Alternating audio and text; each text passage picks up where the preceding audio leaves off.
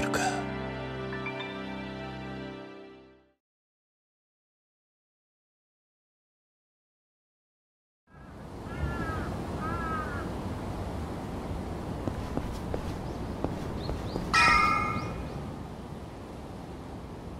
桐生さんこんなとこまで呼び出いやいいんだ。南雲くんから聞いたでしょ？ああはるかについて。私が初めてはるかちゃんに会ったのは彼女。とても今思えばどこから来たのって話してすぐこんな田舎に家出してきた女の子がたった一人。私もそのままバイバイっていうわけにはいかなくて宿も決めてないって言うし思い切ってうちに誘ったの。一晩泊めてみて。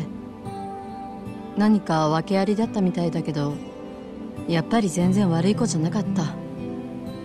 それで私正直私一人で間に合う小さなお店だけどその日からはるかちゃんはうちで働くことになって芸能人だったなんて気取りも全然なくて。あいつの素性にもすぐ気がついたってわけか。ええ。でも店に来る町の人たちもみんな気づかないふりしてくれてた。そうしているうちにはるかちゃんも日に日に笑顔が増えていってね。でもあの日だけは違った。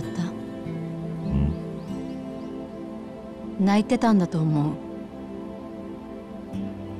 私を見るとすぐ無理に笑顔作ってたけどその時もっと彼女がこ多分はるかええ。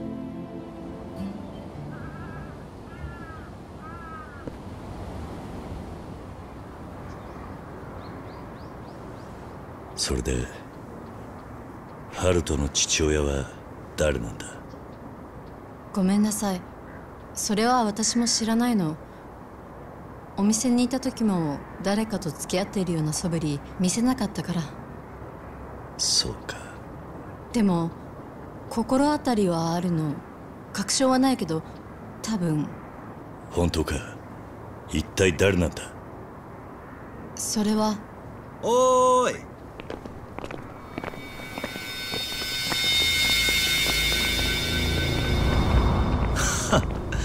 まさかと思い